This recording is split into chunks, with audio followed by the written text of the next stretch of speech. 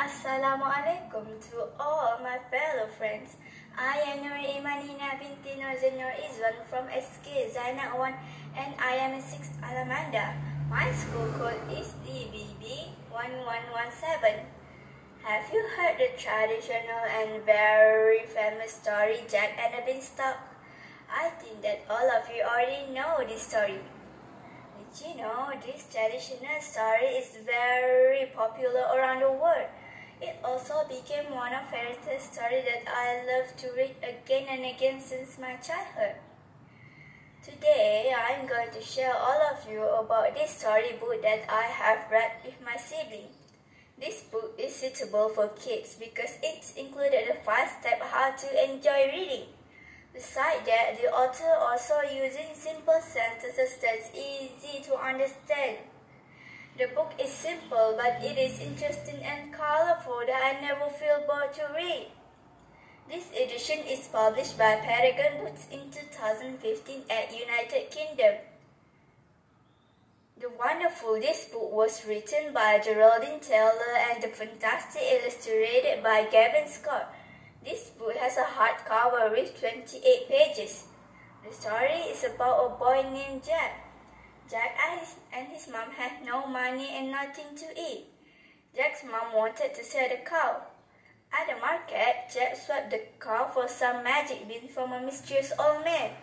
Then Jack went home. His mom was very angry at him. She threw the beans into the garden. Jack was very sad about the beans. On the next day, Jack was shocked. He saw a giant beanstalk at the garden. Jack climbed up and up into the cloud. The story will become more interesting. Jack found a castle in the cloud.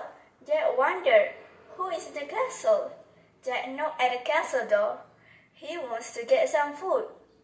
Suddenly, he heard some giant footsteps.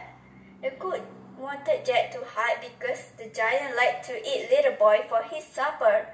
The giant shouted, free, free, for, for. He smelled the blood of little boy, but the cook said the smell was from sausage. Soon, the giant fell asleep. Jack popped up from a cupboard and grabbed a bag of gold. He quickly climbed back down the beanstalk with a bag of gold.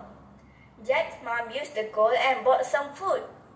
But soon, all the gold were gone and they were hungry again. Jack climbed out the beanstalk again.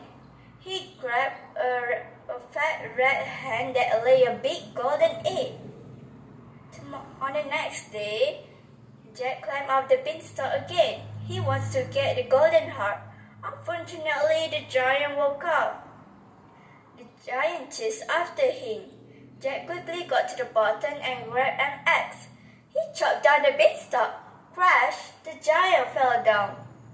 And that was the end of the bad, greedy giant. Wow, it's thrilling, isn't it?